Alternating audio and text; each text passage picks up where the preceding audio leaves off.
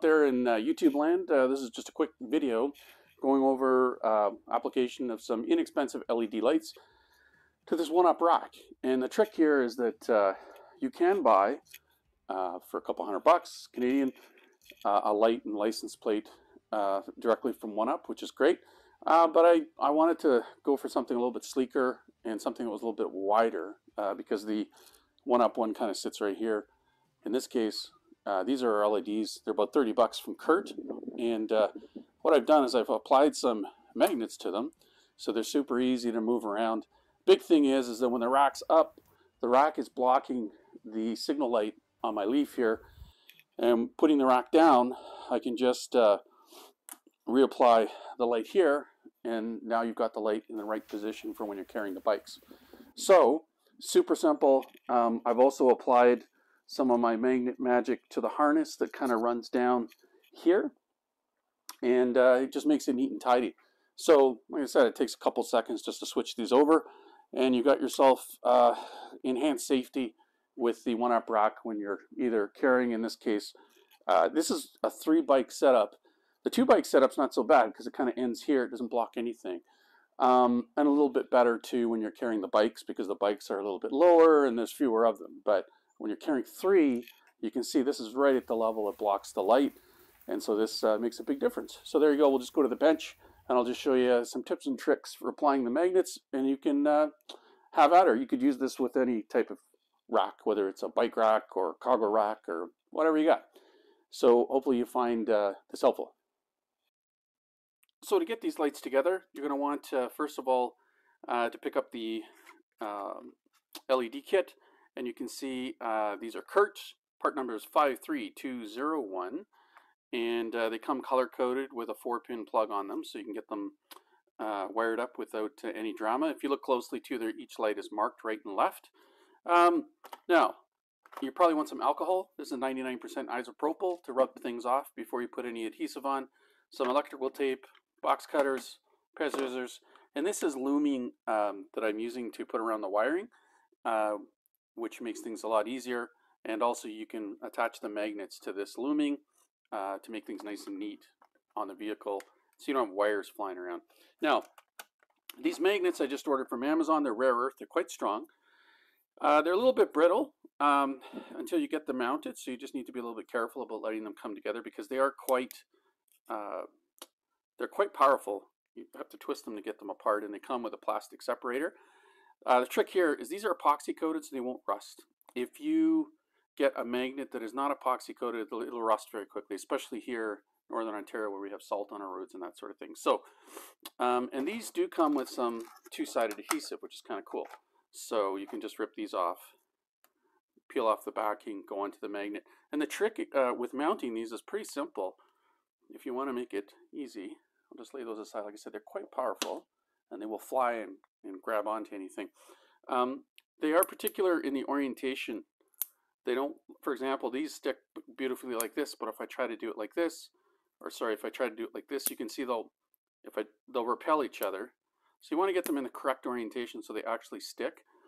And in the instance where, you know, you're putting magnets on the looming, for example, you'll take one of them, place it on your looming where you want the harness to stay onto the rack or whatever you're putting this onto, wrap the electrical tape around here, and then after it's wrapped with electrical tape, just put the magnet in place so you know it's oriented correctly. Apply the, uh, you know, take one layer off, clean this with alcohol, take one layer off, stick that on, leave that backing on there, wipe alcohol off the next surface, peel the back, and then stick it where you want it. And now you know the magnets and everything are lined up so you don't have to measure or second guess yourselves. You can see what I'm talking about here with the magnets and uh, how you should line them up. But basically what I did here is I just took, I placed the magnet on the back of the light. There's a peel off um, 3M adhesive on there.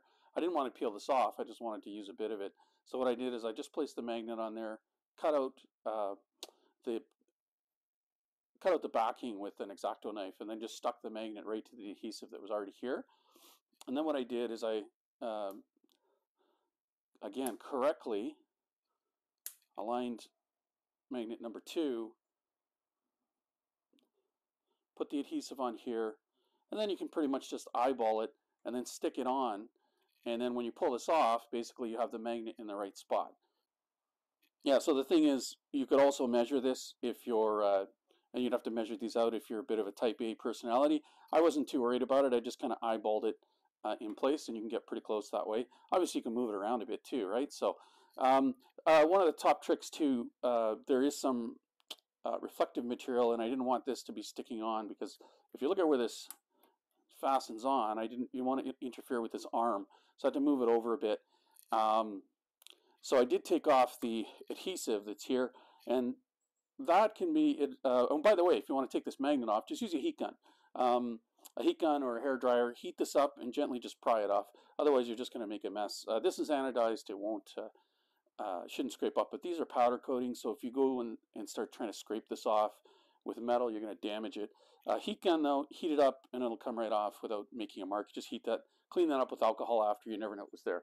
So there you go. There's some top tips for uh, applying the magnets onto the um, rack. So that's the simple tip and trick to getting these uh, mounted easily and quickly. So there you go, a few bits and pieces to make the job easier. Now if we have a look at the uh, wiring and the routing, a few tips here. You can see that I had to move the magnet locations over a little bit so that I didn't, uh, I just wanted it flush with the bottom here and not interfering with this, but I have a little loop here. So what you can do is just, I'll just raise this arm up so it's out of the way. And what you can do is when you go here, you just go around, I've, I've basically put a tie wrap in this location and this location so the wire's not wandering, doesn't interfere with anything, but I can just kind of loop it. And then you can see I don't have that loop of wire that the tire is going to rub on or anything. So it's just super simple. Um, so we go around here, back out to the bottom location. The wire just runs in here. You can see I have looming here that we looked at earlier and I've got my handy dandy magnet here and a magnet uh, adhered to the rack here and you can hear that little click and that just keeps it in place and routes it nice and sweet. So that's a little bit of the cable routing and I have uh, magnets that go all the way down and kind of hold everything and I also have one on my the harness on the uh, car itself so that doesn't flop around when you're driving or drop onto the road. So top tips for you there.